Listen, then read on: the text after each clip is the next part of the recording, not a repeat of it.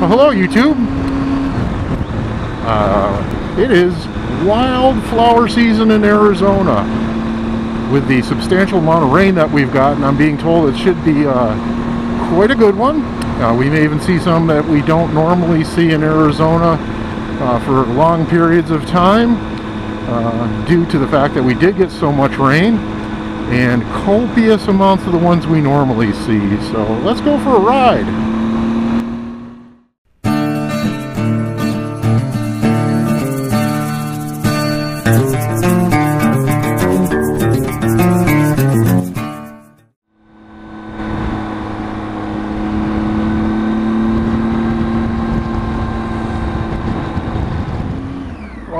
Today we're on a lovely little road, and if you weren't paying attention before, we're out heading, looking out for some wildflowers. And we're on a lovely little road that'll take us by Bumblebee, Arizona, and Cleator. Um, I don't think I'm going to go up to Crown King. Um, if we don't find some wildflowers here, we're going to go on to the next place. So, uh, buckle in. This is a fun little road. It looks like the storms have washed some sand out in the road there. Got to be careful of that.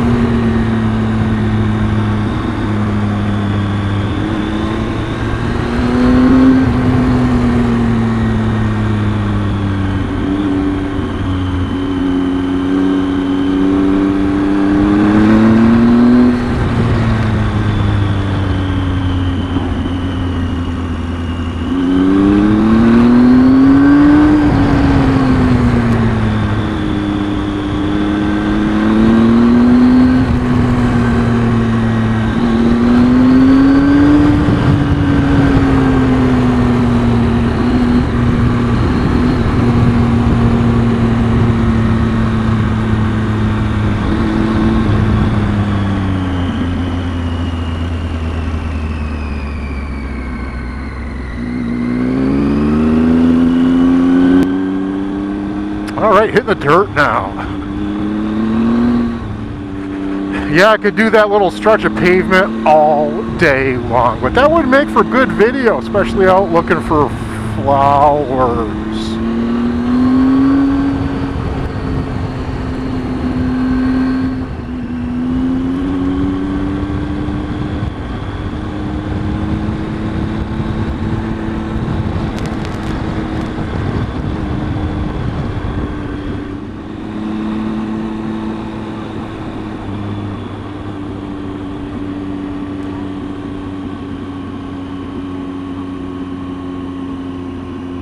This is a little community of Bumblebee.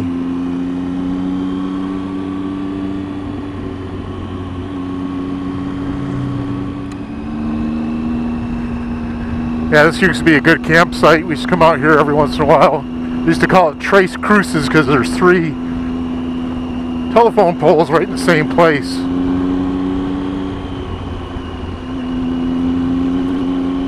And there's some uh, interesting things to go explore. Always necessary for a good camp spot.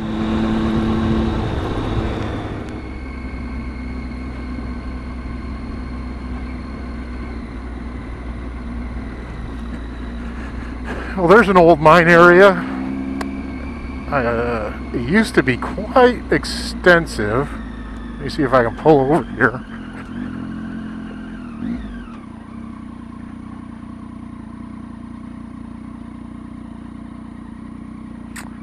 Looks like there's a couple buildings left. I thought it was completely gone, but there's a like lavender gray um, shaded pile of dirt rock. That's actually tailings from the old mine. It used to come all the way back over to here. Um, this whole hillside was cleaned up and removed all the buildings and stuff like that, head frames and whatnot. The only thing I can see out there it looks like a uh, an old water tank, and looks like a maybe a, a dynamite building down there. But uh, this is one of the things where um, either BLM or state trust land or somebody got some Superfund money uh, and cleaned up the site.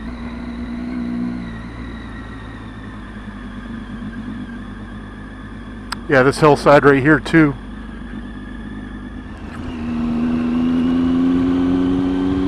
Well, we're gonna head up over this hill and then we'll drop down into Cleator.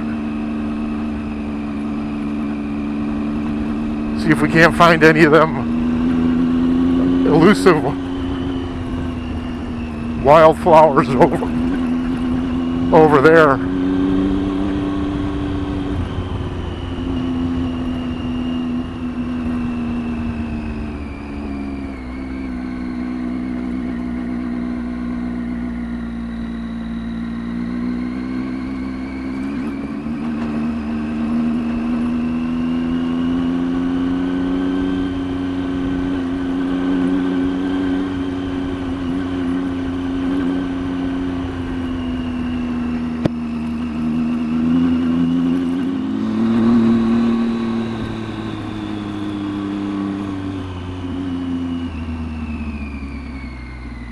And I can just see Cleator over the rise.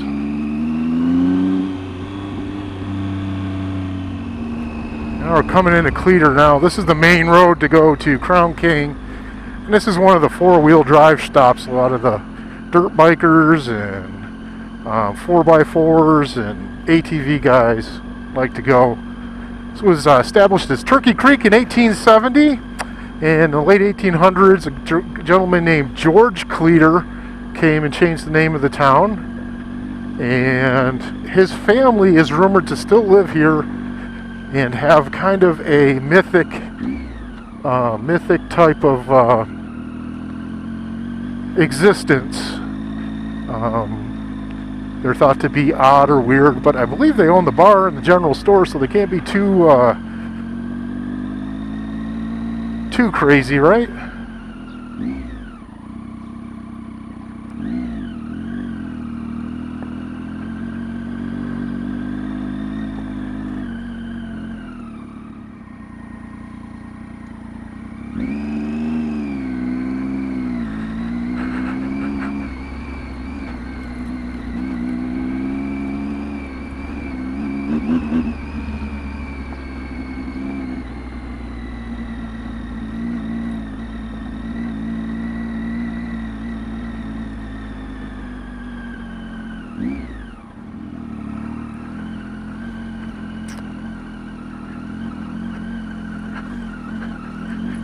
Yeah, when the rail used to come through Cleator, this is kind of like the start of the area where you can fi still find good rail bed. And the sign indicating that the road is closed in five miles is, um, I believe, a rail trestle up there is collapsed and that was years ago. Kind of funny to see a uh, sign out here now indicating that.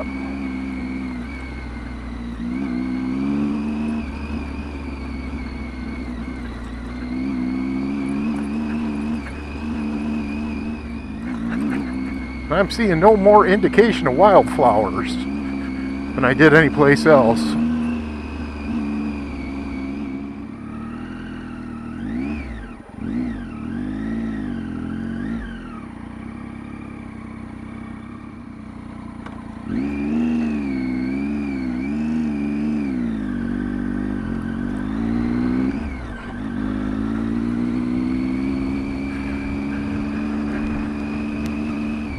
All right, well, we're going to head back towards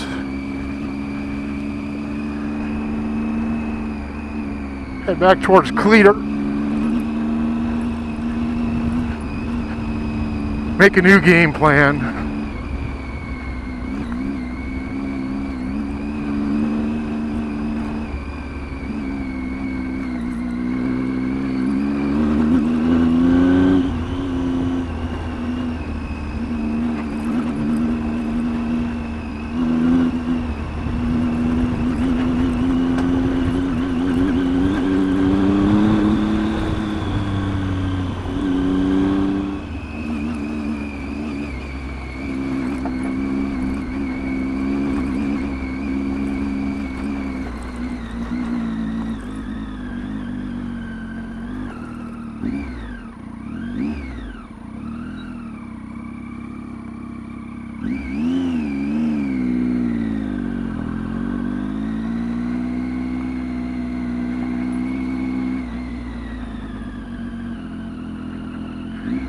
Let's take a ride through town here. I know this is all private property. I may get kicked out, but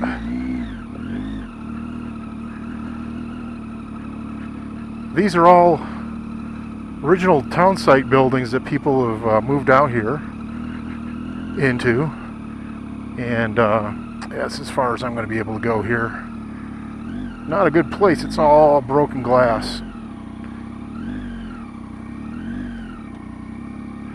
So these are original town site buildings and um, some people live here off the grid and there is power. I think some of these places have uh, well water. Some of them have it trucked in.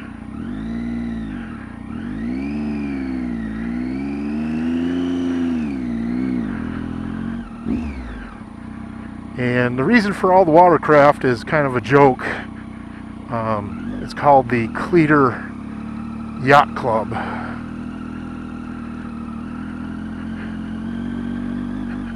And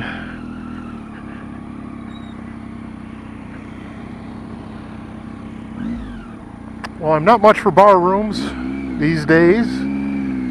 Let's go check out the general store.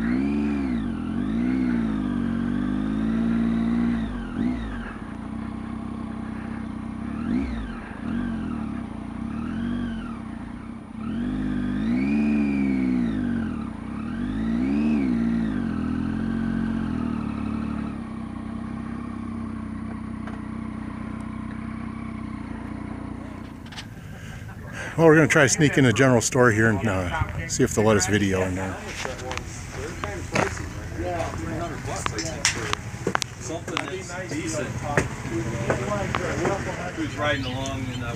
Well, we got a prospector warning sign here. Notary Public. They're all set for St. Patrick's Day. But the only problem for me is they're closed today. We'll try them on the next time. So we're going to leave the uh, Cleator Yacht Club to its own devices here. Head on down the road and find something else to do. Maybe check another elevation for flowers.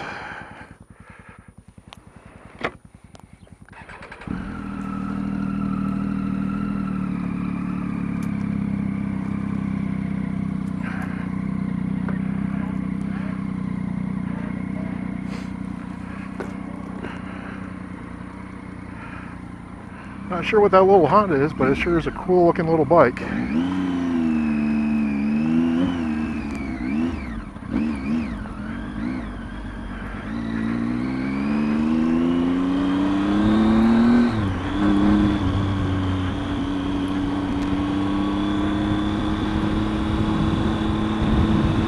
I think I need to lose some elevation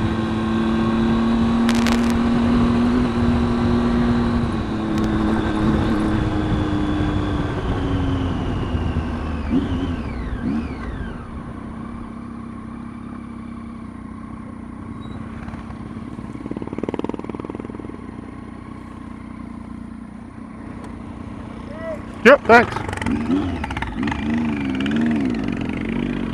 I wanted to let these old boys go by and I forgot to turn the uh, traction control off.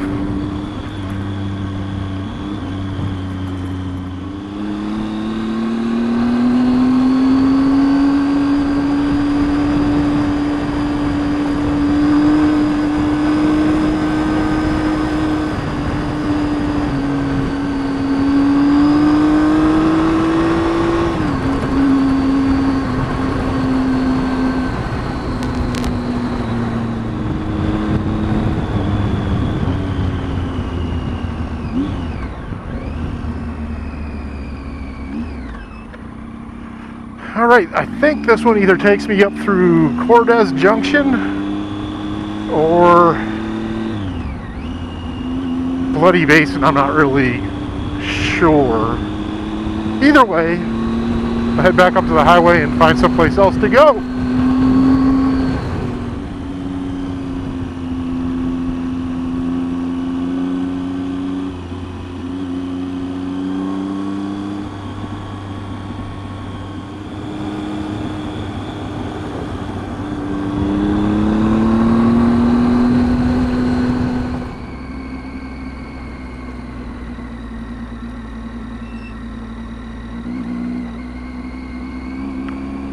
Here's a neat little area.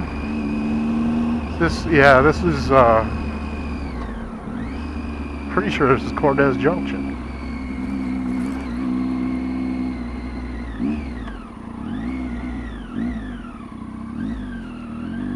One of these buildings used to be an antique shop. That, uh, looks like it no longer is open.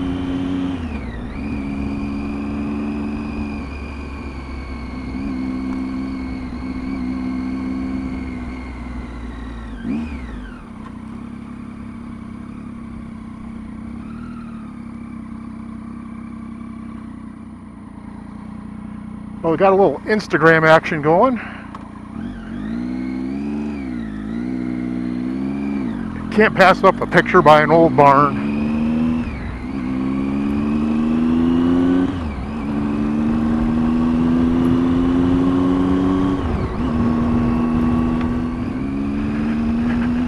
Well, the interstate's right up here. We're going to jump on that and try some lower elevation somewhere.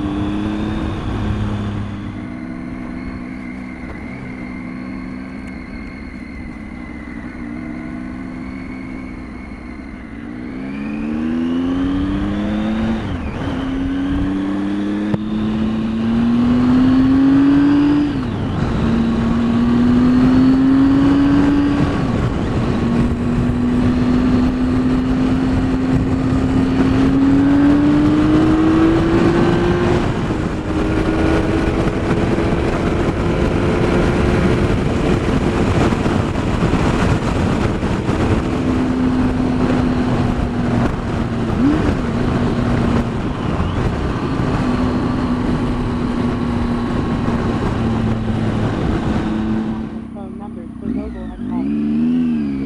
Numbers to call is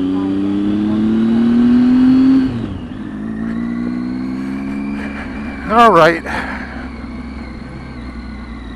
Well, I'm not seeing. As soon as you get off on the dirt on the trails, the flowers disappear. Well, I'm going to call it, um,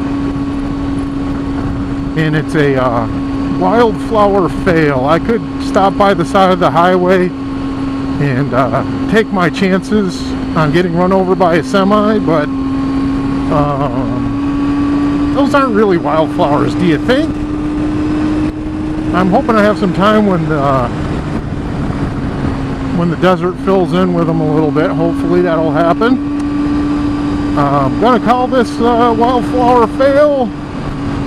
I uh, appreciate you watching. Please comment, subscribe, like, and share.